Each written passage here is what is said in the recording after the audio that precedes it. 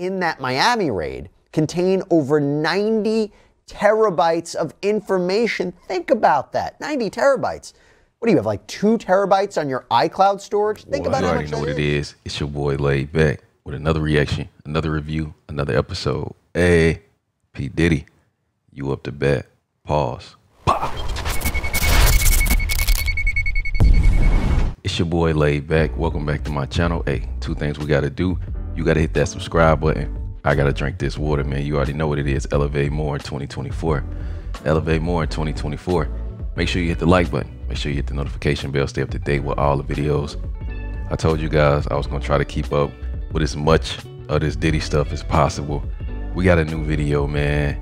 Um, we got seven major P Diddy updates as defense pushes for quick trial and traffic in trafficking case. I haven't seen nothing over the past week. I kind of like detached from everything. So I don't know what these seven major things are. We gonna get into it though together. But you make it to the end of this one, man. You a real one for real. Make sure you drop that in the comments. Let's go ahead and get into it. Fire Squad. Let's pop it. Let's get it. I'm not going to talk about anything that I haven't said in court or in the papers. These are all great questions, but I'm just not going to get into it. So Can you at- speak about your concerns about the leak uh, and the video? You have spoken I, about The leak. I, I, I, I did. I did it in the court papers, and, and I'm going. to I'm just going to stick to the court papers. From a new trial date to allegations of government misconduct to issues surrounding an accuser to a third attempt to get out of pretrial detention, we are breaking down some major recent updates in Sean Diddy Combs' case. Welcome to Sidebar, presented by Why he Law and like Crime. I'm Jesse Weber. Look, I get it. It can be tough staying up to date on everything that is happening in the Sean Diddy Combs criminal case. There is a lot. There is a lot that has been happening. So what we want to do for you is give you some of the top recent updates on the case so that you're caught up to speed. Now, before I even get into the updates, I have to set the stage. The 54-year-old music mogul still locked up, still locked away in the Metropolitan Detention Center out in Brooklyn, Brooklyn. as he awaits trial on federal sex crimes charges, racketeering conspiracy, sex trafficking, transportation to engage in prostitution. Essentially, prosecutors from the Southern District of New York allege that Combs used his business empire and resources and associates to lead a criminal enterprise that was engaged in illegal activity like arson, bribery, kidnapping, even the assault and sex trafficking of women, and that hmm. this was going on for years. And more specifically, they allege that he brought in male sex workers for these events called freak offs, these elaborate sexual performances that he forced, threatened, or coerced people to be a part of, even drugging people, hmm. filming these sessions. That's what the allegations are. And it's a complicated case, which brings me to the first update. When on earth is this trial actually going to happen? Well, Right, right. at a status hearing last week, prosecutors, the defense attorneys, and the new judge overseeing this case, the Honorable Arun Subramanian, agreed to a trial date of May 5th, 2025. Now, Okay. obviously, that can change. Now, obviously, that can change for a variety of reasons, but it seems to me that the defense has been pushing for this early trial date. I mean, we were suggesting this trial wouldn't happen until the end of 2025, maybe even 2026. But the reason that it seems to me that Combs is wanting an early trial date is because he's locked up. He doesn't want to be there anymore. Right. And even though he is appealing his bail, or his denial of bail, I should say, to a new court, and we're going to get into that in a minute, he and his team may be thinking, let's get him to trial as soon as possible with the hope that he's acquitted and he can go home and put it all behind him. We don't want him languishing behind bars for another year or two years as he waits to go to trial. But there are a few things with that. Right. You know what could change the trial date? You know what could delay it? If More Combs is hit with new charges, if there is a superseding Mm-hmm. indictment, that's when prosecutors go back to the grand jury with new evidence in an effort to indict Combs on additional charges. They, must, they may also Mm-hmm. upgrade charges, they may even replace a charge. And that means more discovery, more evidence, more material that needs to be shared, more motions. The timeline would shift. You won't see a May 5th, 2025 date if he's ultimately hit with more charges. Very, very, very unlikely. And in a major update during that hearing, we found out that's not so far fetched. Assistant U.S. Attorney Emily Johnson told the court that the investigation is very much ongoing and that there is a possibility of a superseding indictment. Mm. And why would that happen? Well, it could be that through their investigation, analyzing the digital and physical evidence they collected, speaking with more witnesses, including maybe new people who may have come forward, prosecutors may believe they have probable cause that Combs committed more crimes. Mm. And by the way, it's interesting during this hearing that prosecutors Man, this only the beginning. For them to say May 5th or something like that, and all these new things keep coming out with a, with with Diddy case, like ain't no telling when the case really gonna start, and when they gonna be like, all right, this enough, we have enough evidence. Are they just like stopping people from you know reaching out to them about you know potentially being a part of the case? Like, how does that even work? said their case as it currently stands will take them about three weeks, and the defense said their case will take them one week. First of all, if there's additional charges, that will change. But mm-hmm. the current case taking three weeks, the defense saying they'll have one week. What that tells me is that the defense is going to mostly focus upon cross examination of the government's witnesses instead of really calling witnesses of their own.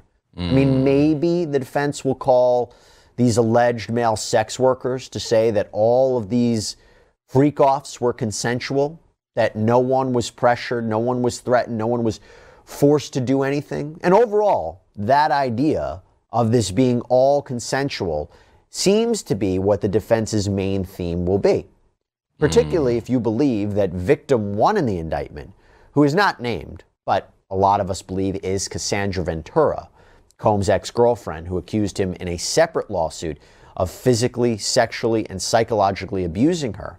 Mm. In this criminal indictment, prosecutors say he sex trafficked victim one through force, fraud, or coercion, meaning forced her to perform commercial sex acts. Now, it would seem to me that if she were the government's star witness, Combs' defense attorneys would spend a lot of time cross examining her, suggesting that everything was consensual, that she agreed to everything.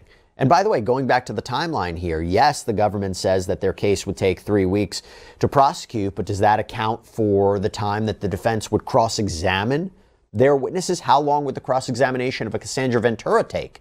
Would Right. it take several hours? Would it take a day? By the way, his defense attorney has also suggested that Combs may take the stand.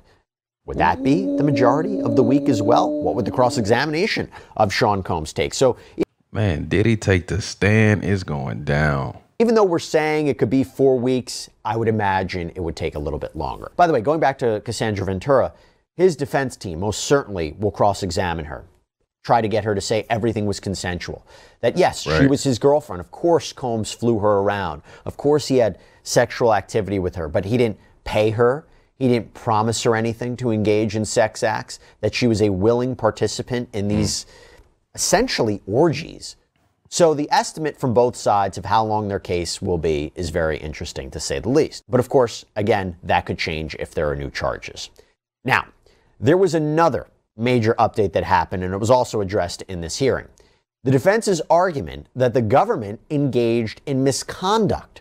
In a filing from last week, Whoa. Combs' defense counsel blames the government, more specifically, the Department of Homeland Security, of leaking information and making inappropriate comments to the media. And the defense is now asking for an evidentiary hearing to get to the bottom of all this. More specifically, they allege that the Department of Homeland Security agents leaked the infamous 2016 Ooh. videotape of Combs Wow. reportedly beating Cassandra Ventura in a hotel hallway, which was published by CNN in May of 2024. And remember, Wow. that was after the raids on his houses by Homeland Security before his arrest. They say they leaked it. So Combs' defense counsel in this filing wrote, quote, the available evidence makes a prima facie showing that the government, primarily through DHS, has engaged in a seven-month campaign with three objects. One, preventing Mr. Combs from getting fair consideration by the grand jury. Two, preventing him from getting a fair trial. And hmm. three, strategically leaking confidential grand jury material and information, including hmm. the 2016 Intercontinental videotape, in order to prejudice the public and potential jurors against Mr. Combs. Pretty startling allegation there. Yeah. They continue. The government's scheme to undermine Mr. Combs' rights to a fair proceeding has several methods and means. First, there has been a steady stream of false and prejudicial statements made by DHS agents to various press outlets over the last seven months. Mm. For example, Combs' lawyers allege on March 27, 2024, two days after the searches of Mr. Combs' residences, an agent specifically identified as working for DHS made public statements to, among other media, the New York Post, that he believes there is a disturbing history of sex trafficking. We are responding to concrete, detailed, explicit allegations. This is not random. We didn't choose his name out of a hat. We had allegations that we're following up on.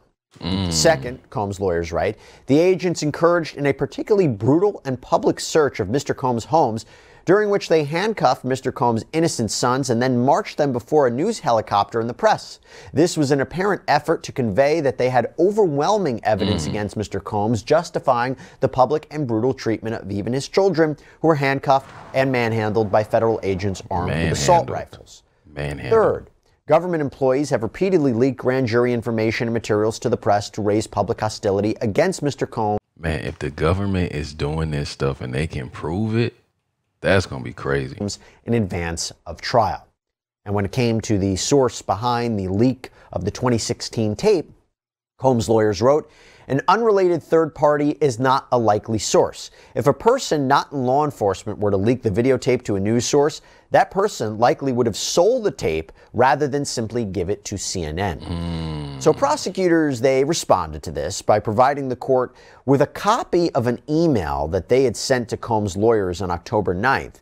And it reads, to be clear, to our understanding, DHS did not have possession of the videotape prior to CNN's publication of it. Hmm. Only the government has authority to obtain grand jury material, and the video broadcast by CNN was not obtained through grand jury process. So very interesting there. Now at the hearing, Prosecutor Johnson said that all the defense is trying to do is exclude a damning piece of evidence, seemingly referring to the 2016 videotape. Mm. And that is something Combs' lawyers have asked for, because if this evidence was improperly leaked by the government, then there is an argument it should be suppressed, that it shouldn't come into Combs' trial. That would be a big win for him. Mm-hmm. Well, Judge Subramanian reserved ruling on whether to order an evidentiary hearing to sort all of this out. He said he wants to wait to review each side's arguments, which are due by November 7th, and then he'll see if a hearing is warranted. Now, what the judge did do during this hearing, and this is going to have an impact, is impose a gag order. Now, this was something that the hmm. defense had asked the court to do as well. They wanted to stop the government from disclosing material to the media. The federal prosecutors at the hearing were like, okay, we'll agree to that, but the defense, they need to agree to the same because they say the defense hasn't been so innocent in all this. They called out Combs' attorney Marc Agnifilo for doing an interview with TMZ right after Combs was arrested in September, where he called the criminal case, quote, a takedown of a successful black man. Ooh. Prosecutor Johnson said this sounded like he was accusing the feds of engaging in a racist prosecution. This is spicy. This is spicy. They going back and forth. Johnson said statements of this sort seriously risk a fair trial in this case. So Judge Subramanian instructed Combs' team to propose an order that would govern public statements by both sides.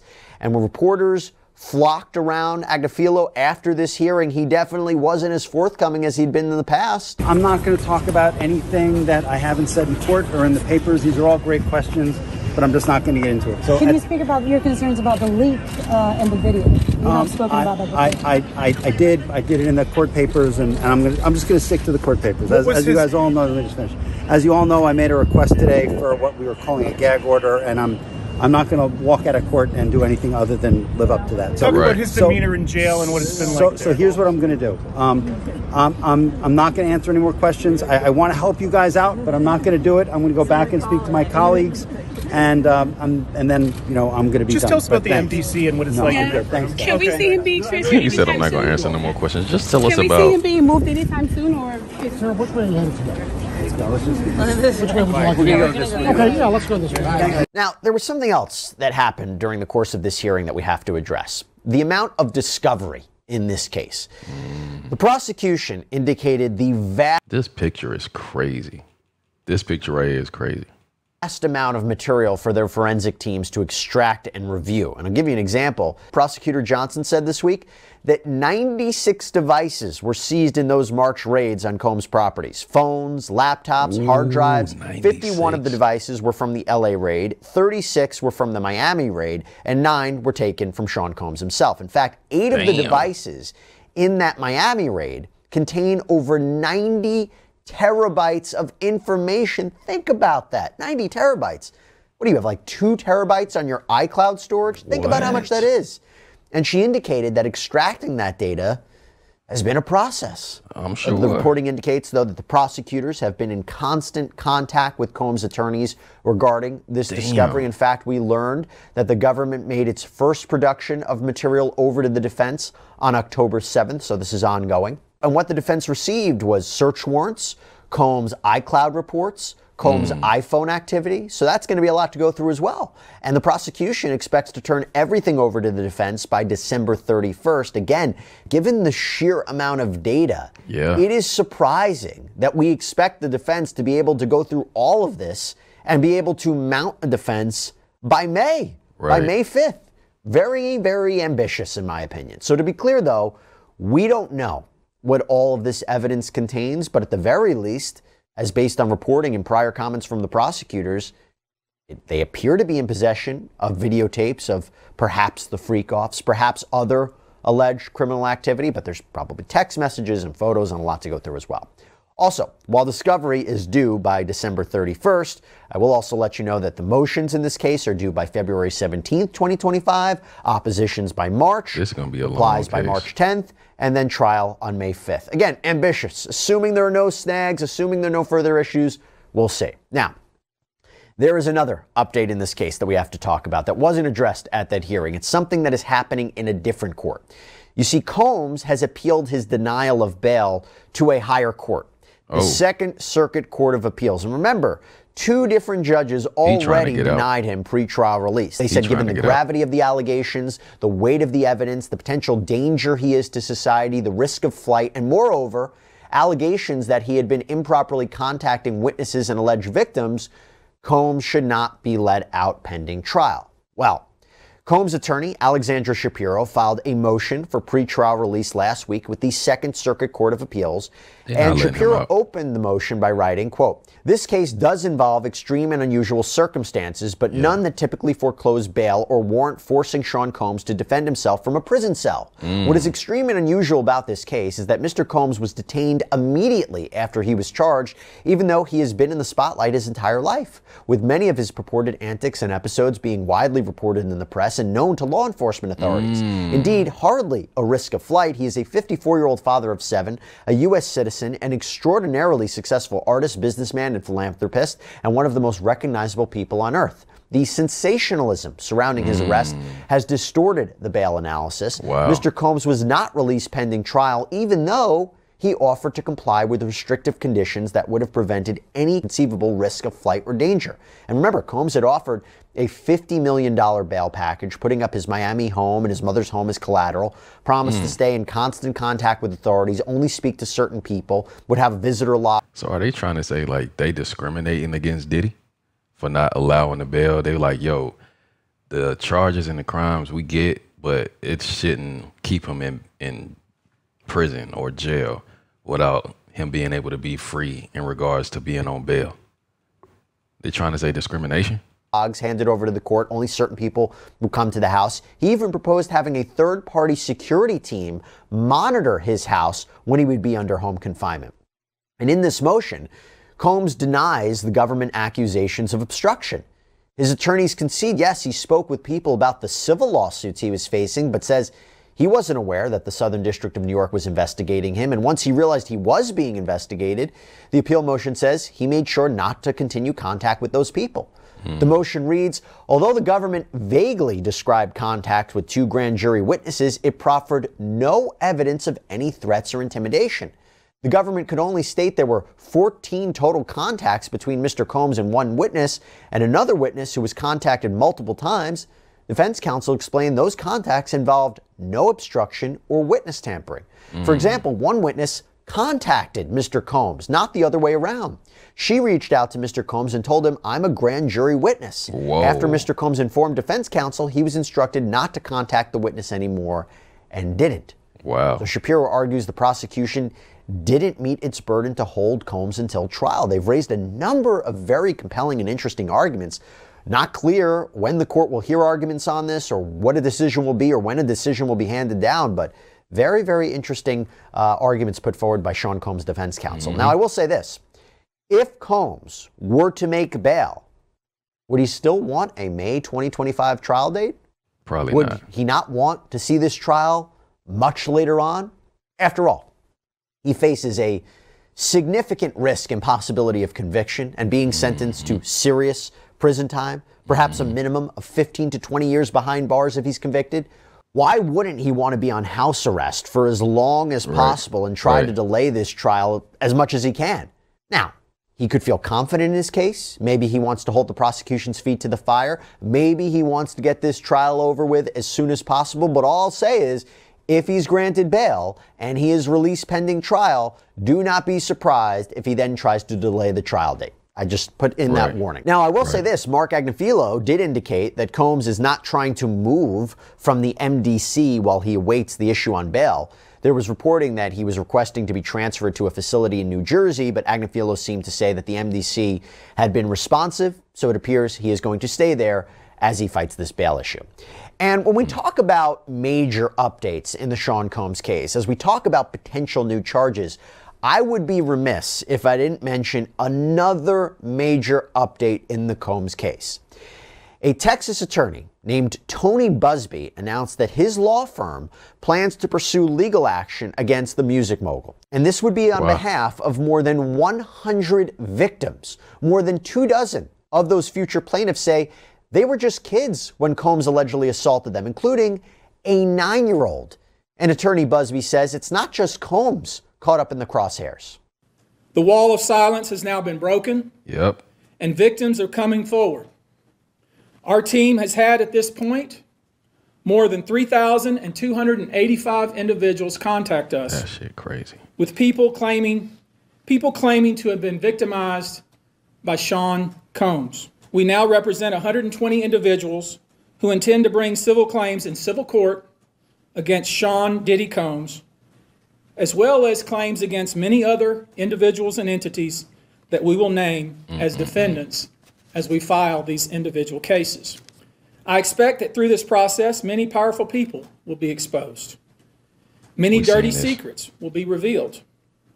We know what we are potentially up against. As is always the case in situations like this when a celebrity is involved, people can be downright mean and nasty. You'd be shocked at the length fans will go, no matter the evidence, to the contrary, to defend celebrities they love. I mean, there's a reason for this word mm-hmm. fans. They're fanatics. I've personally already been threatened multiple times on social media. And when I agreed to pursue this, I expected as much. This isn't my first rodeo. But victims who step forward to have their voices heard should not be subjected to that kind of conduct. They should not be targeted. And by the way, according to TMZ, Buzbee has already sent out demand letters to a bunch of celebrities in order to get them to settle before he files lawsuits against them. Those he says who were complicit or participated in this alleged abuse by Sean Combs. He's saying, look, man, y'all better settle before we take this to court. I'm just telling you, bring the Brinks truck out or we going to court. Oh, he already warning dudes. And he also claims that some high profile people have already settled. Now, he says that he's going to first file lawsuits against corporate entities who facilitated the abuse and then file the lawsuits against the celebrities. So it's going to be a very interesting series of weeks ahead. But here's the thing, and I've said this from the beginning Buzbee is the latest in a long line of accusations from other people who have sued Combs that claim he abused minors. And yet, hmm. nothing in his criminal indictment, nothing in Sean Combs' criminal indictment Right. is about minors Right, yet. Right. Given this announcement, Wow. could we expect a potential superseding indictment to include such allegations regarding minors?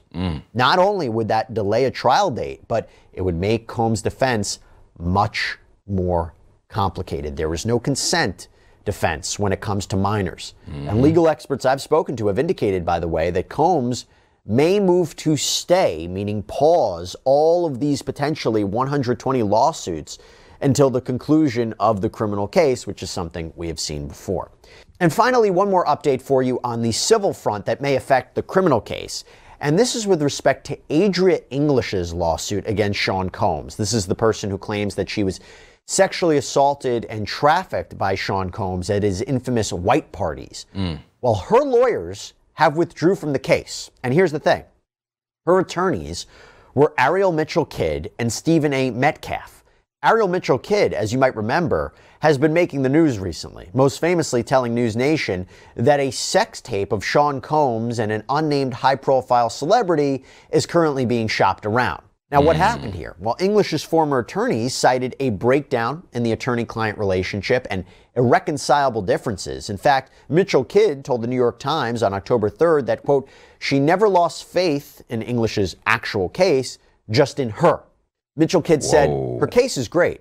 My issue was with her undermining my work and going behind my back, doing things incongruent mm. to advancing her case. Mm. But English seems to be celebrating that these attorneys are no longer on her case. In a statement over the weekend, English wrote, I am happy with the decision to withdraw, and this has made it easier for her to secure new professional, non clout chasing counsel.